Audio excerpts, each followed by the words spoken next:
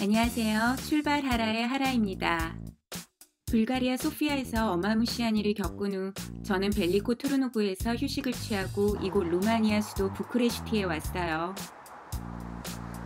불가리아랑 비슷할 것 같은 느낌에 사실 올까 말까 엄청 고민했는데 지금 아니면 이 먼 곳까지 다시 올 수 있을까 싶어 그냥 루마니아 행을 결정했죠. 그렇게 부크레슈티에 도착. 그런데 첫 느낌이 나쁘지 않은걸요? 숙소 가는 길에 만난 메인 광장의 분수가 두 팔 벌려 저를 환영해주는 것 같은 지금 햇빛이 엄청 강한데 분수를 보니 정말 시원해요. 그럼 지금부터 루마니아 수도 부크레슈티와 근교 도시 시나이아 여행을 시작해 볼게요. 부크레슈티는 동유럽의 파리라고 불린다고 하는데 상상했던 낭만적인 분위기보다는 쭉 뻗은 넓은 대로 그리고 고층 건물들이 굉장히 현대적인 느낌을 줘요. 제가 처음 찾은 곳은 차우세스쿠 대통령이 자신을 위해 지은 인민궁전이에요. 총 12층에 3,000개가 넘는 방이 있는 어마어마한 궁전이지만 국민 혈세를 남용했던 차우세스쿠는 결국 시민들의 혁명으로 처형을 당했다고 해요. 현재는 국회와 국제학회장, 결혼식 피로 현장 등 다양한 행사장으로 사용되고 있다고 합니다.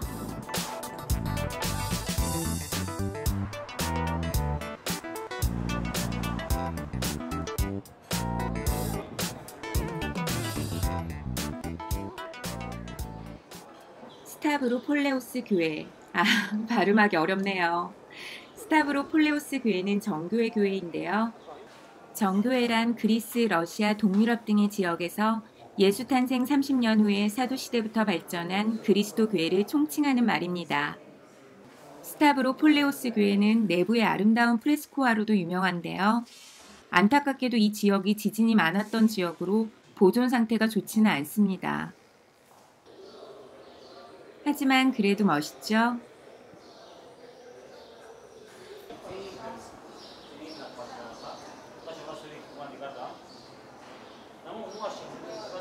전 교회도 좋았지만 교회 건물 옆에 있는 이곳. 정원 같기도 하고 확실히 용도는 모르겠지만 조용하고 천천히 거닐며 휴식을 취하기에 좋은 이곳이 정말 마음에 들었어요.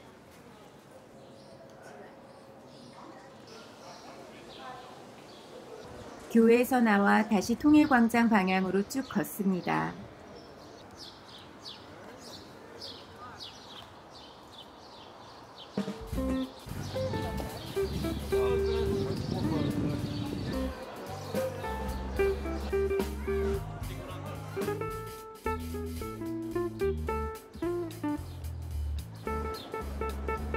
관광객들이 많이 가는 거리를 지나니 꽤 큰 교회가 보이네요.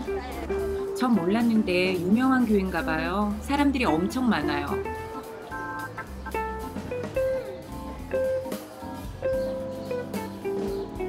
여행을 하다 보면 교회 성당을 정말 많이 봐서 다 비슷비슷하게 보일 때도 있지만 그래도 전 교회 성당 보는 게 재미있고 좋아요. 마음도 편해지고요. 성 안토니 교회 근처에 마누쿠 여인숙이 있네요. 19세기 목조 건축물인 마누프 여인숙은 과거에는 창녀, 상인 등 하층민이 머물렀던 곳인데요. 지금은 루마니아에서 가장 오래된 호텔로 꼽히며 아주 유명한 곳이죠. 호텔 가격은 모르겠는데 호텔과 함께 있는 레스토랑 가격은 굉장히 비싸더라고요. 다시 돌아온 통일광장. 늦은 오후 햇살을 받아 분수가 더 반짝반짝 시원시원하네요.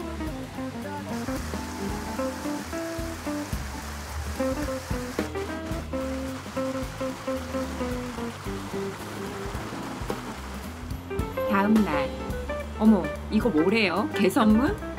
아 이래서 부크레슈티를 동유럽의 파리라고 하는 건가요?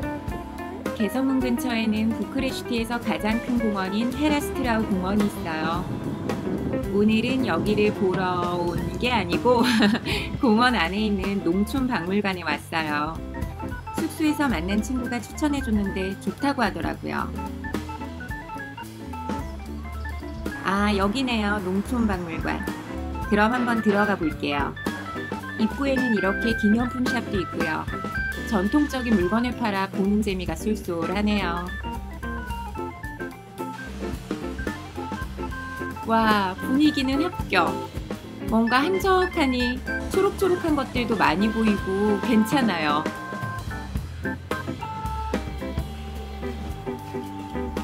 (1815년도의) 루마니아 집이래요 되게 특이하죠. 아 근데 볼수록 재미있어요. 어떤 박물관인가 했는데 루마니아 전통 가옥들을 재현해 놓은 곳이네요. 저 이런 거 좋아하거든요. 옛날스러운 거. 이런 거 보면 여행하는 나라에 대한 이해도 생기고 뭔가 상상이 돼서 재미있어요.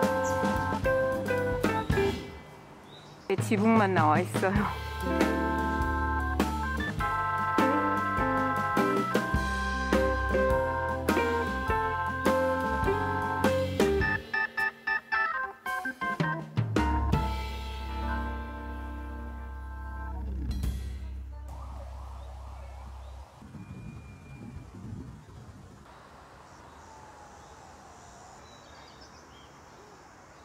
특히 여기 여기 연핑크꽃 정말 예쁘지 않아요?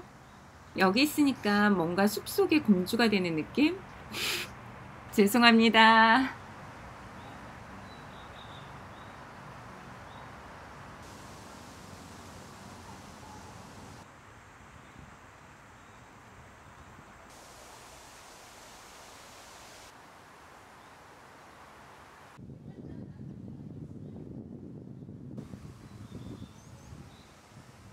아, 그리고 촬영은 못했는데 여기 근처에 호수도 있어서 분위기가 정말 좋아요. 붐비지도 않고 선선한 바람도 불고. 아마도 부크레슈티에서 제가 제일 좋아하는 장소가 될 것 같아요.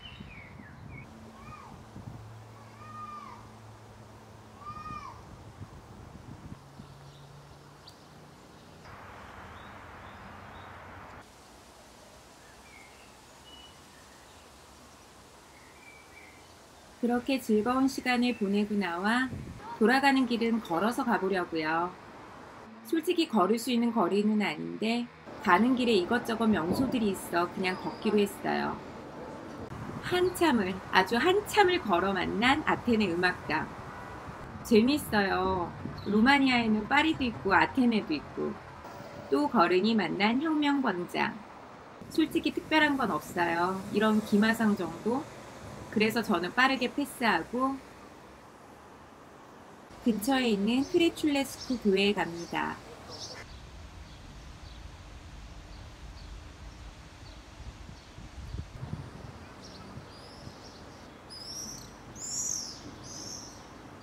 이곳도 프레스코아가 아름다운 교회예요. 거의 문 닫을 때쯤 도착해서 이곳도 빠르게 보고 나왔어요. 저 부크레슈티 너무 대충 보나요? 이해해 주세요. 장기 여행을 하면 특히나 더 나태해지는 것 같더라고요.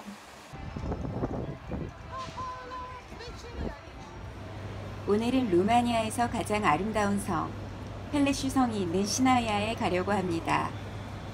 부크레슈티 북역에서 기차를 타고 갈 수 있어요. 1시간 반 만에 시나이아 도착. 그럼 성이 있는 곳으로 천천히 올라가 볼게요. 생각했던 것보다 성까지 거리가 좀 되네요. 그래도 가는 길이 좋아 전혀 힘들지 않아요. 공기도 좋고 나무 그늘 덕에 시원하네요. 가는 길에는 기념품 파는 곳도 많아 지루할 틈이 없어요.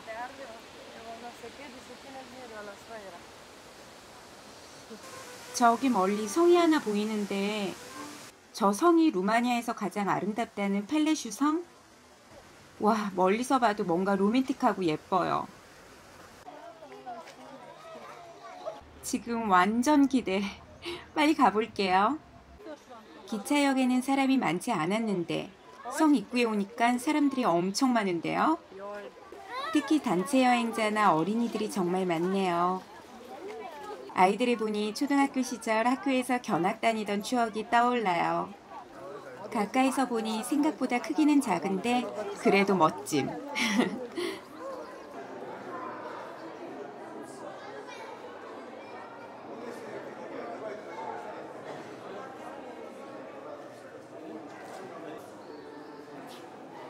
펠레슈성은 투어로만 내부 관람이 가능해 보통은 티켓을 사고 이렇게 기다려야 합니다.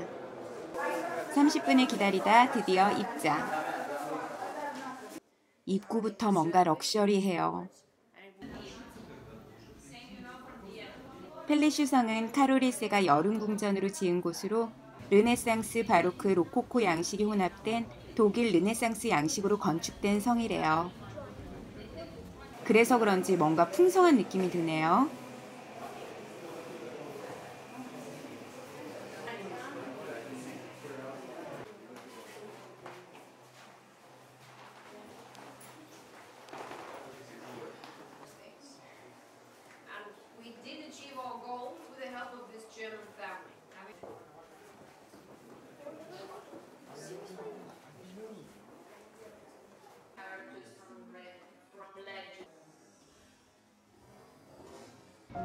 성 앞으로는 이렇게 멋진 정원이 있는데 내부 관람을 원치 않으면 이곳에서 정원을 즐기며 성의 외관을 감상할 수 있습니다.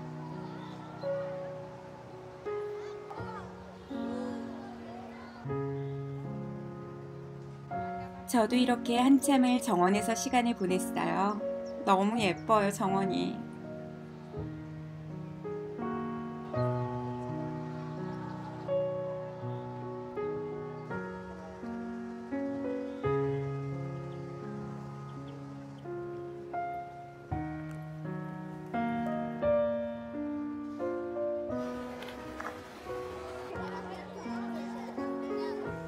펠레슈 성에서 조금만 가면 또 다른 성이 하나 있는데요.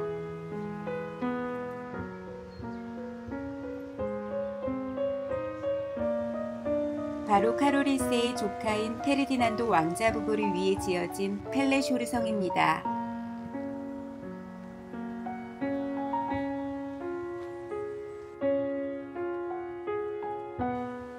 펠레슈 성이 화려해서 그런지 펠레쇼르 성은 조금 소박한 느낌이네요.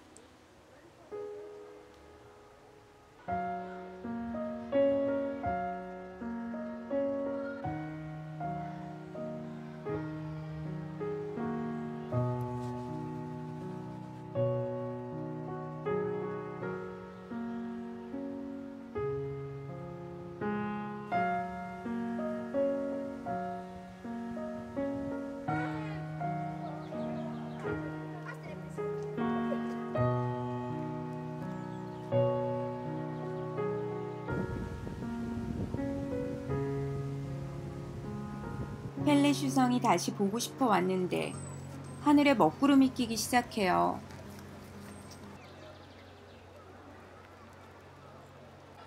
결국은 이렇게 비가 오네요.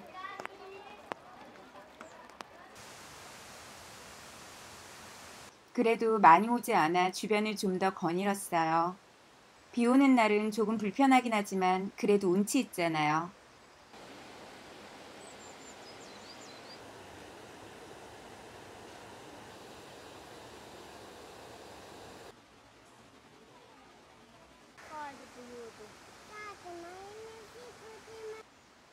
기차역으로 돌아가는 길인데 저기 보이는 게 저게 뭘까요?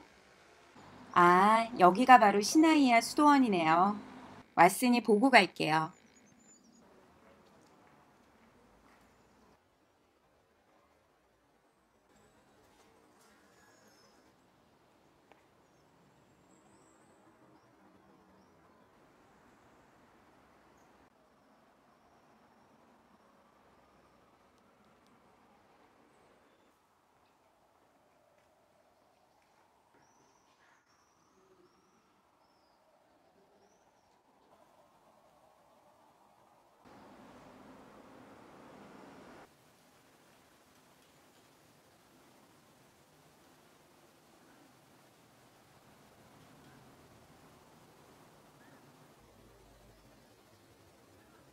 시나이아는 궁전 외에 특별히 볼거리가 있는 건 아니지만 그래도 궁전이 정말 예뻐서 충분히 올 만한 가치가 있는 것 같아요.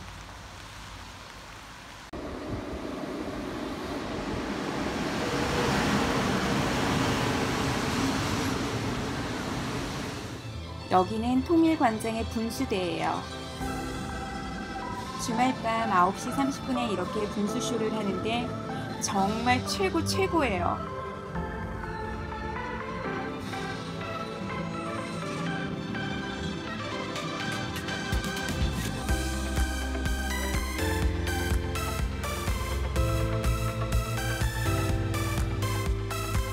그런데 갑자기 번개가 쳐요. 와, 번개 치는 하늘 위로 솟구치는 분수. 정말 뭐라 표현해야 할지 모르겠어요. 완전 이건 환상적이야, 정말.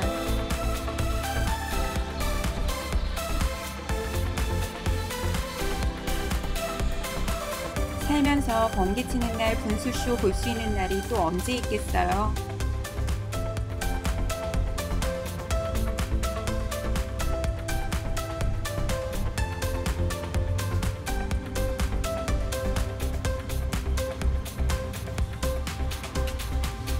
그래서 더 특별한 오늘입니다.